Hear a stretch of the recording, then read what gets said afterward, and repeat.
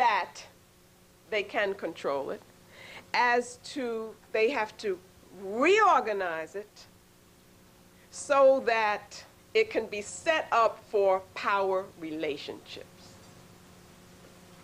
Now, how do you do that? First thing you got to do is you got to make these splits.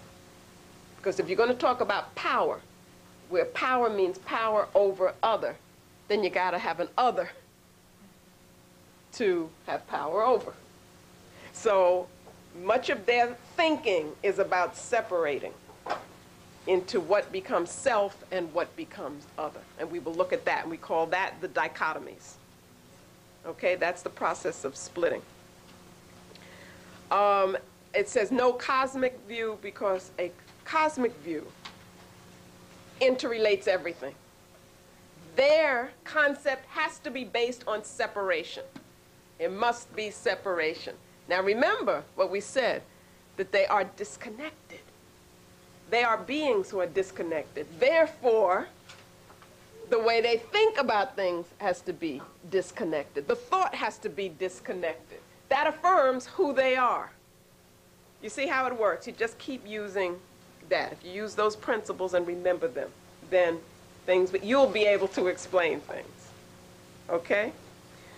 So that the utamawazo is uh, the cognitive aspect of the asili. That is, has to do with thought, with um, how one comes to know.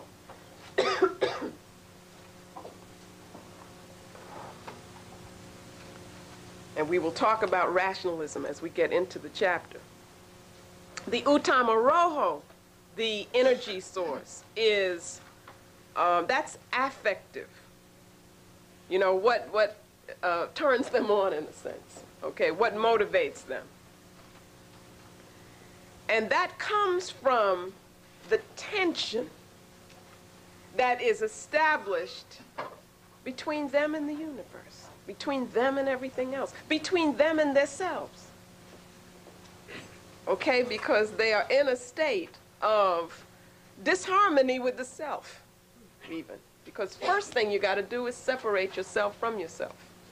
And we'll see that Platonic thought is based on, the Platonic model is based on that, that, that initial separation. Okay? So that you see splits, dichotomies, the self versus the other, always versus the other. Why versus? Because it's confrontational. You understand that? Got to be confrontational.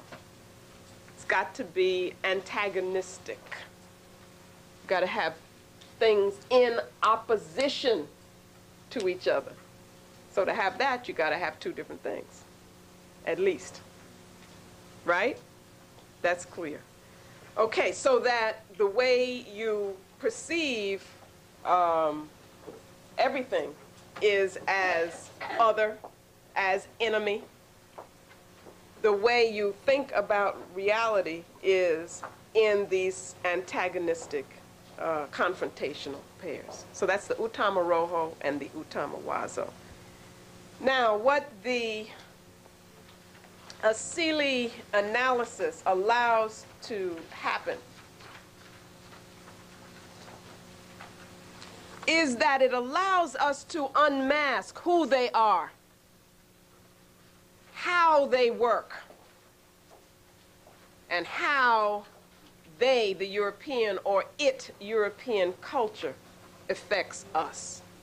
That's what the Asili concept and analysis allows us to do.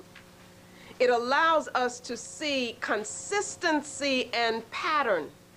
It tells us the logic of the culture.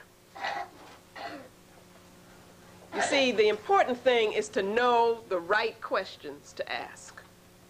And what this analysis does, this approach does, is to tell us that what we always need to do is to ask how does a particular action a particular book, a speech, a film, uh, an institution, a war perpetrated by the European. How does that act to fulfill the asili? That's what I want you to be able to do. So you can do that from now on. You go out, you have an experience, or you see something, something comes on television, whatever.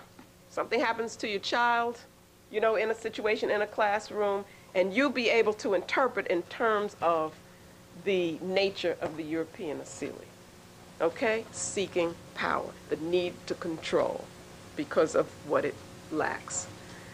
So that the Asili approach in this way becomes a grounding presence. It's a centering concept and always brings us back to the reality of who the European is and what the culture is about.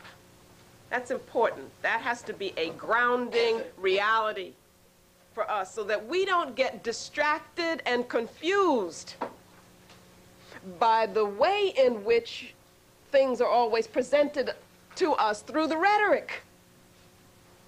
Always say, but who is that? You know, and what's their nature? Ah, I know what's going on here. Always say, but who is that? You know, and what's their nature? Ah, I know what's going on here. Always say, but who is that? You know, and what's their nature? Ah, I know what's going on here. And then that will begin to tell us what we need to do in that particular situation.